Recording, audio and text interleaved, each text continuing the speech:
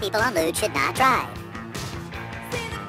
All right, Hamilton. Well, Mr. Hand, if it's your time and it's my time, doesn't that make it our time? Hey, the attitude means you don't care if she comes stage lays of praise. My toes are still tapping.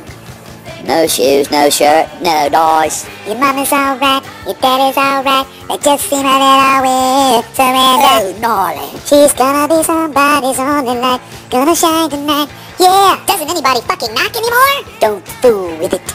Hey, man, you got two tickets to the Earth, Wind, and Fire concert? I want to take my little brother for his birthday. So if we don't get some cool rules ourselves, we'll be bogus too.